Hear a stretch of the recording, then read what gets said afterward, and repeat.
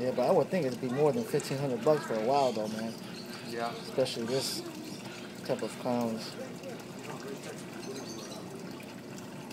So this is similar or equivalent to see like a lightning maroon clown. No, actually, the light maroon clown is totally different, man. Totally different. Uh, yep, yep. You seen you seen that one in No, person?